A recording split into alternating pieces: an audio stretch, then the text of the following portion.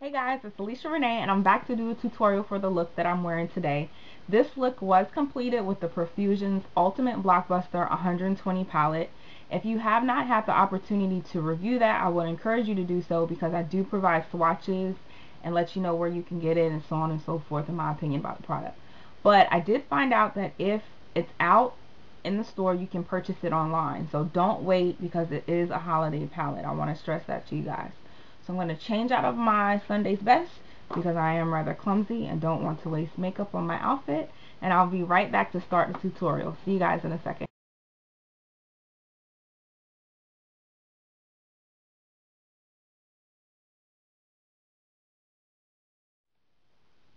Alright, I already primed my entire lid, but I'm going in with the two um, bases that I just showed you. The lighter color going, goes in the inner side of your eye. Let's put a little bit there and I'm blending that one out. Now with lavender because I couldn't find my milk. And then the blue along the lid.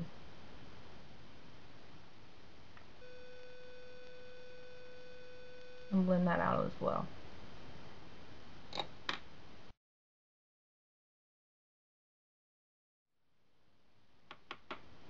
Now this brush is a little bit denser.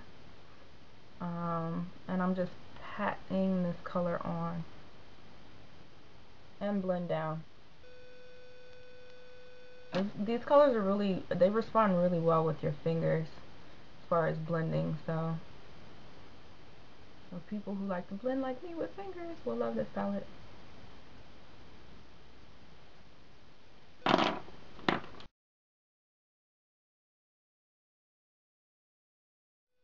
The Brushed Suede, just going in and putting it here and blending in.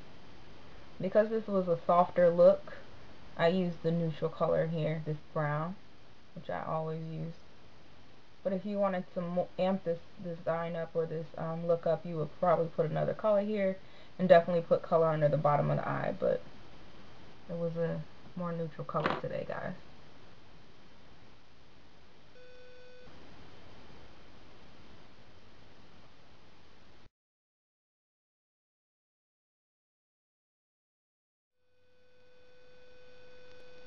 and this on the lid.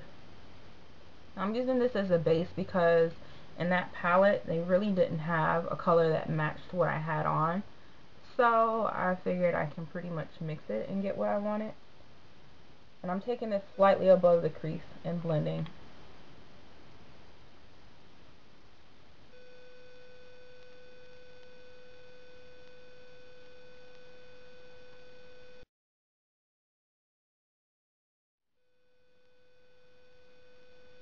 Blue, I'm going to take that and put it slightly above the blue I just did. It's going to really make it a little bit easier to um, look like I really spend a lot of time blending, which I'm not going to do. And I'm going to take a Sonia Kashuk, um, I don't know what this is, a blending brush, and blend that color up into where you had the brown.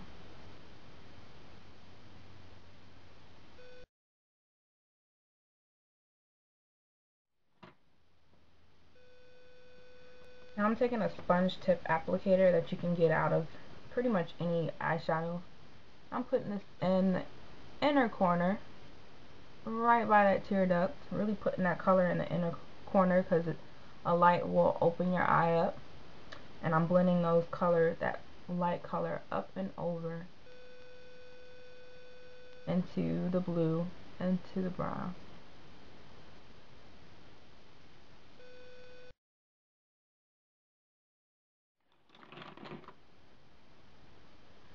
Going in with my favorite liquid liner. I always use this. I tend to like a, um, I don't like the felt tip as much. So, this is my go-to liner.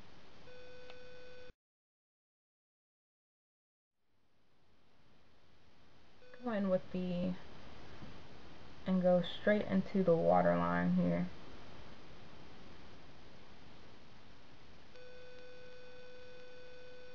Now again, if you were doing a more dramatic look, you pro I probably had a color there, but it was not the appropriate occasion for that.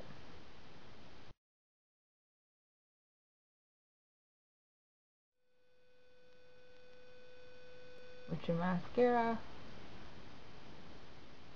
and apply as needed. Or you can insert lashes or put on lashes here, but I'm not doing that today.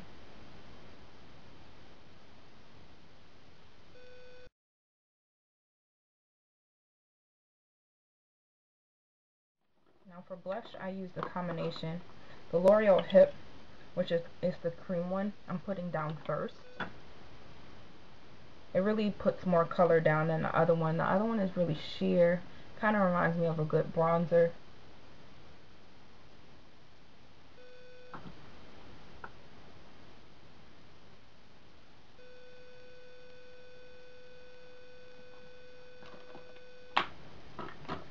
Now I'm going in with the other color, which is Apricot Flush. I'm putting a little bit on the top of that.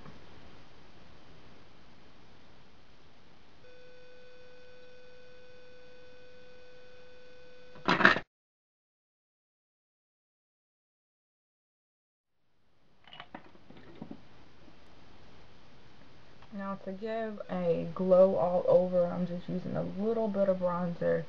Nothing too much, nothing to get too, too happy about.